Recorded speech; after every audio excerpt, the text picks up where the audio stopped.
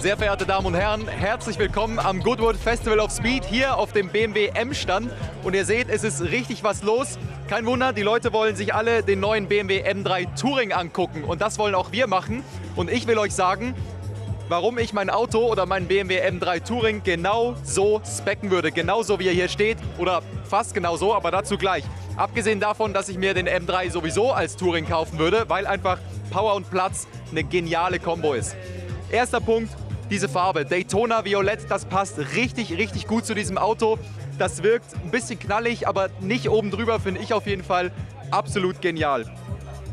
Dann Innenraum, weiß-schwarzes Leder. Ich weiß an all diejenigen unter euch, die unser Video zum M8 gesehen haben, wo ich gesagt habe, ich würde mir niemals weißes Leder bestellen. Stimmt auch nach wie vor, aber ich finde in dieser Kombination einfach absolut genial. Von daher würde ich da einmal drüber hinwegsehen. Und dann diese Sitze, die Carbonschalensitze. Mag in einem Kombi vielleicht ein bisschen deplatziert wirken, aber ich finde es halt einfach cool, weil die auch für die Langstrecke durchaus taugen.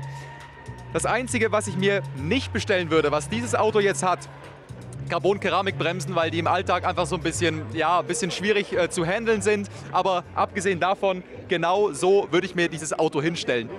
Kleiner Punkt, den ich ein bisschen schade finde, ist, dass es den M3 Touring nur mit Glasdach gibt, nicht mit Carbondach, aber das ist eigentlich im Prinzip egal, weil, naja, Gewichtsersparnis bzw. niedrigerer Schwerpunkt ist bei dem Auto jetzt irgendwie nicht so wichtig, würde ich mal sagen. Thema Antrieb, den gibt es ja nur als Competition mit 8-Gang-Automatik und Allradantrieb. Und ähm, naja, finde ich jetzt nicht so super schade, weil BMW wird von dem Auto jetzt wahrscheinlich nicht die allergrößte Stückzahl verkaufen cool, dass sie es machen. Aber von daher finde ich, wenn schon einen rausbringen, dann gerade mit voller Hütte. Und Handschaltung passt, finde ich, eher zum BMW M4, um so ein bisschen rumzurühren. Von daher alles safe, alles easy. Ich würde mir meinen M3, abgesehen von der Carbon-Keramikbremse, genauso bestellen.